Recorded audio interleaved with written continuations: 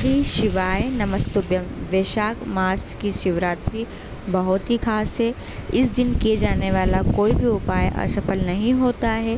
वैशाख माह की शिवरात्रि वाले दिन अगर कोई व्यक्ति जल समर्पित करके आ रहा है और उसका मात्र दर्शन करने से ही आपकी मनोकामना पूरी हो जाती है तो इतना बड़ा दिन है, ऐसे में गुरुजी द्वारा बताए गए कुछ नए उपाय हैं, आप ज़रूर कीजिएगा। चलिए वीडियो शुरुआत करते हैं। तो स्वागत है मोदिती ऑफिशियल चैनल पर। और हाँ लास्ट वीडियो में जो प्रश्न पूछा गया था, उसका सही जो उत्तर है वो है कुबरेश्वर धाम सीहोर में स्थित है। जिन लोगों ने जल्दी कमेंट करके उत्तर दिया है, उनके नाम इस प्रकार है।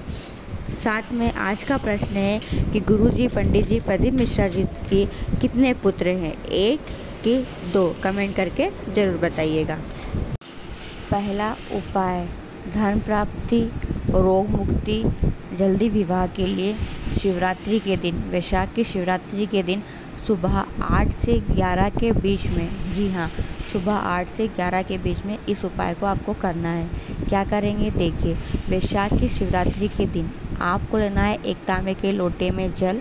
जी हाँ एक तांबे के लोटे में जल और उसके अंदर एक बेलपत्री आपको डुबाना है, डालना है। ठीक है? तांबे के लोटे में जल लेंगे, वह जल होना चाहिए आपके ही घर के मटकी का या मटके का। जी हाँ मिट्टी के पात्र का जल होना चाहिए वह। तो मिट्टी के पात्र का जल लेंगे। उस जल में आपको एक बेलपत्री डुबाना है। डुबाने के बाद उस बेलपत्री को निकालना है और अपने पास रखना है और जल लेकर आपको मंदिर जाना है। पर किसी कारणवश आपके पास बेलपत्री ना मिले तो मंदिर में चढ़ी हुई बेलपत्री को भी उठाकर, धोकर आप जल में डुबा सकते हैं और डुबाने के बाद उस बेलपत्री को निकाल सकते हैं। इस उपाय को सुबह आठ से ग्यारह के बीच में करना है। इस जल को महादेव को, अगर आप विवाह के लिए समर्पित कर रहे हो तो जल को झेल कर आचमन नहीं करेंगे। केवल विवाह की कामना करके उस एक लोटे जल को शिवलिंग के ऊपर समर्पित कर देंगे। पर अगर यह उपाय अगर आप रोग मुक्ति के लिए कर रहे हो तो जल समर्पित करने के बाद जल को झेलना, झेलते कहाँ से? जैसे जल भेके जाता है, सीधे हाथ की हथेली में जल झेल लेना, तांबे के लोटे में डाल लेना, और फिर उस जल का आचमन माँ अशोक सुंदरी के नाम से आपको करना है। माँ अशोक सुंदरी के नाम से जल का आचमन करेंगे, रोग मुक्ति की कामना करेंगे।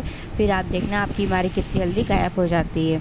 और अगर धन संपदा के लिए इस उपाय को करोगे तो जल समर्पित करने के बाद जल को झेल कर लाओगे और झेले हुए जल को पूरे घर के अंदर उस जल का छिटकाव छिटन करना है।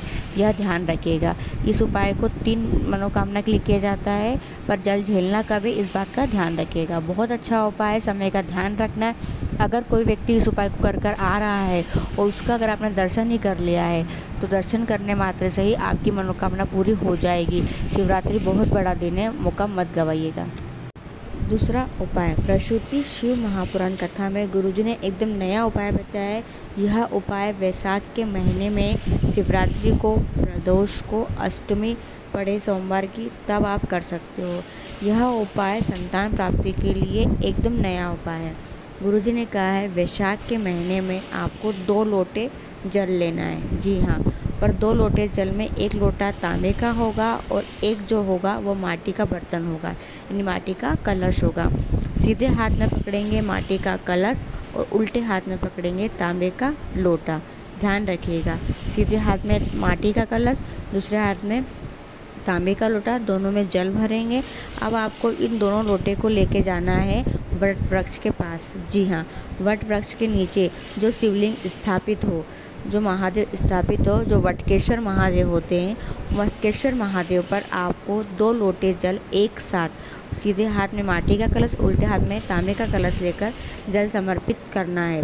पर जब जल समर्पित करोगे, तब तो आपको तीन नाम लेना है विशेष। वह नाम है दक्ष प्रजापति। जी हाँ पहला नाम है दक्ष प्रतापति दूसरा नाम है प्रसूति और तीसरा नाम है विरणी विरणी का एक नाम आशक्ति भी होता है। आप विरणी बोल सकते हो। तो क्या क्या नाम लेंगे? दक्ष प्रतापति।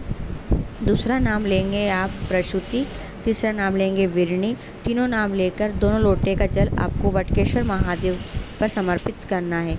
जल समर्पित करने के बाद पति और पत्नी दोनों उस जल को झेल कर उस जल का आचमन अगर वट वृक्ष के नीचे कर लेते हैं तो संतान की प्राप्ति उन्हें हो ही जाती है। अगर काफ़ी समय से प्रयास कर रहे हो, संतान की प्राप्ति नहीं हो रही है तो वैसाख के महीने में इस उपाय को ज़रूर कीजिएगा और हाँ इस वीडियो को उन लोगों को ज़रूर शेयर कीजिएगा जिन्हें जिन्हें संतान सुख नहीं मिल पा रहा है। वह यह उपाय करेंगे, उन्हें संतान सुख अवश्य मिल ही जाएगा।